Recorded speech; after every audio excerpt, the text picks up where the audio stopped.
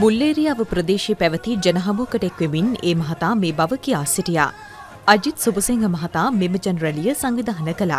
විපක්ෂ නායක මහින්ද රාජපක්ෂ මහතා ඇතුළු මහජන නියෝජිතින් කිහිප දෙනෙකු රැලියට සහභාගී වුණා. ජනතාව වෙනුවෙන් සිය වගකීම් ඉටු කිරීමට තමන් සූදානම් බවයි ගෝඨාභය රාජපක්ෂ මහතා මෙහිදී ප්‍රකාශ කළේ.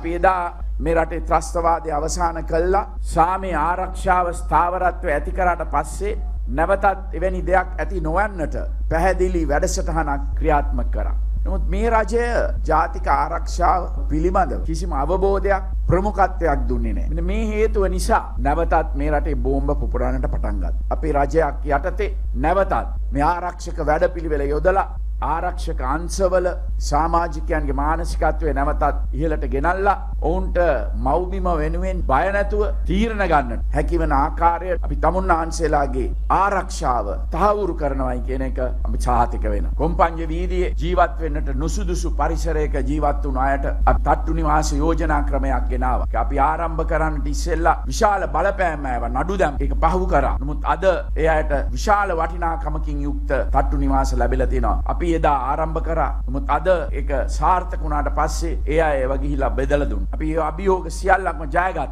මට දීපු වගකීම් මම 100%ක්ම ඉටු කළා. ඉදිරියේදී තමුන්නාන්සලා මට ලබා දෙන වගකීම මේ ආයුරුම ඉටු කරනවයි කියන එක මම සවස්ථාවේදී සාතික වෙනවා. තමුන්නාන්සලා මා කෙරෙහි විශ්වාසය තියන්න. මගේ යුතුයකම වන සුරක්ෂිත රටක්, සෞභාග්‍යමත් රටක්, අභිමානවත් දේශයක් ලබා දෙනවයි කියන පොරොන්දුව දෙමින් මව්බිමට ජය වේවා